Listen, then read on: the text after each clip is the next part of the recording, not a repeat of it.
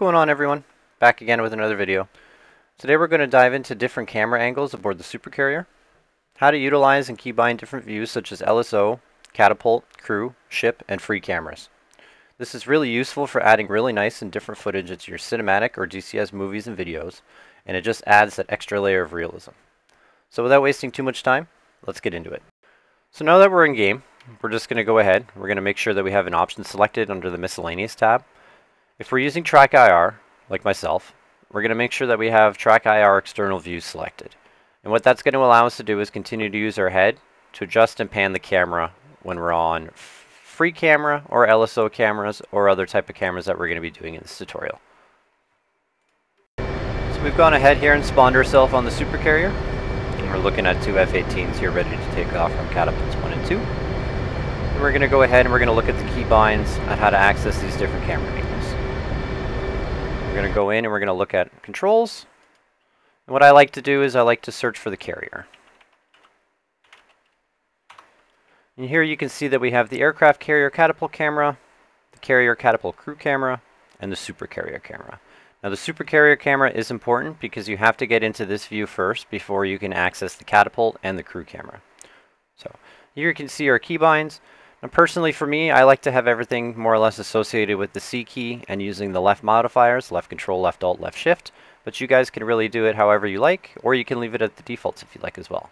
So to, to do a keybind, you just right click and clear the combo, and we will left click, double click, and we will go ahead and make sure it is back to our left. Control and C. Okay. And okay. So now we are going to do super carrier camera, and you can see that it has spawned us on the deck of the super carrier. From here we can move it around using the ASDW keys for back, forward, left, and right. We can also use the Q and E keys for up and down. But we want the catapult camera, so we're going to go ahead and we're going to look at how we get into that. For the catapult camera, we're going to go ahead and we're going to hit left control and C. We can see that it cycles between the four catapults. So we got catapult 1, catapult 2, catapult 3, and catapult 4. I'm going to go ahead and go back to 1. And now utilizing the crew camera, shift left shift C, we can now cycle through all the associated crew members with this catapult. So left shift C, left shift C, left shift C, again. You can get all the members, like I said, associated with this catapult. So let's go ahead and from the shooter view, we'll watch this guy take off.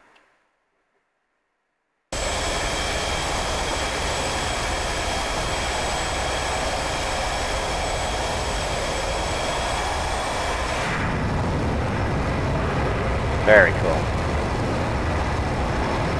So you can see with just those two keybinds, you really can get some really awesome views. We're going to go ahead now, we're going to look at a couple other ones. LSO, and dabble again with the super carrier camera a little bit. So just back in the super carrier view, we're going to go ahead and we're going to look at how we get into the uh, LSO, or the land signal operating view. Definitely get some cool shots. Super carrier camera, nice kind of landscape type shots. Go ahead into controls, and we're going to search for land. We can see here that we've got our land signal officer view as F9. Again, I like having it with the uh, C and left modifier keys, so I went ahead and did it left alt plus C, but again, feel free to do whatever you like or keep it default if you want. And we'll go ahead and we'll get into that view. Now we are in the uh, LSO view, left alt and C. As of making this video, the multi-thread version is a little bit bugged regarding these monitors. So I've went ahead and I've loaded up the base game just to show you what they would normally look like. But as you can see,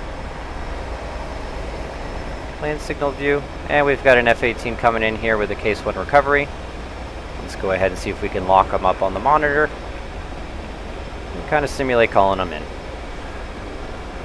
Should be able to see him here soon. Comes in.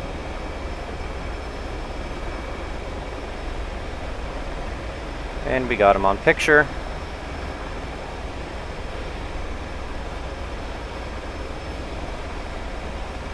And you're three quarters of a mile on glide slope. Call the ball.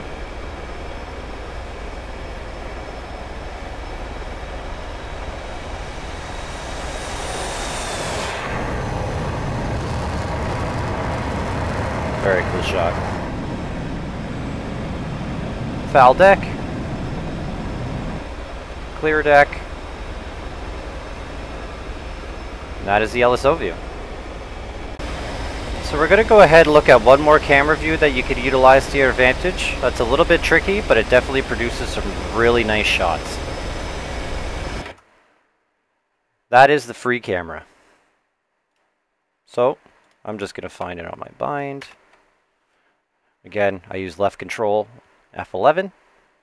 F11 jump to free camera. And from here you could just get yourself into little spots. So we're just utilizing the scroll wheel here to, wheel here to change our speed. And we're going to go ahead and we're going to get right inside the control room. Slow it down. Now it's not absolutely perfect, but once you're in, you definitely get some views that you normally wouldn't have. And you can do whatever you like from here. You can pause it. See that it stopped her motion. We can still use her track IR. With this view, you could definitely get some cool shots. Try to go over here and see the view from the air boss, kind of what he's looking at.